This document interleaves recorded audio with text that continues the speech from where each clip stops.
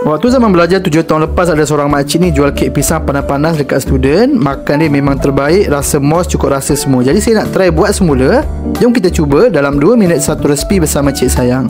Caranya kita perlukan pisang yang telah masak Saya gunakan 5 ke 6 biji pisang saiz sederhana Kemudian kita lenyekkan dia Lepas tu kita perlukan dalam 4 biji telur saiz B Lepas tu kita boleh masukkan satu cawan minyak masak Sebelum kita masukkan dalam satu cawan gula pasir Kalau korang nak kurangkan pun boleh Lepas tu kita boleh masukkan dalam satu penutup kecil esen vanila Kacau sampai dia sekata sebelum kita masukkan self-raising flour daripada beluki Dalam satu cawan setengah lebih kurang macam tu Lepas tu korang aduk lah Korang kacau sampailah dia sekata Saya lupa masukkan garam Garam kena masukkan supaya rasa dia lebih naik Lepas tu kita boleh tuangkan kita punya adunan dalam parchment paper Bekas yang ada parchment paper Kemudian kita bakar dengan suhu 180 darjah Celsius selama 40 hingga 50 minit api atas bawah.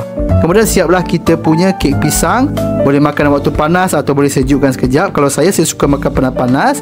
Seperti yang saya katakan mengimbau kenangan waktu zaman belajar dulu. Memang sedap dan moist korang kena cuba.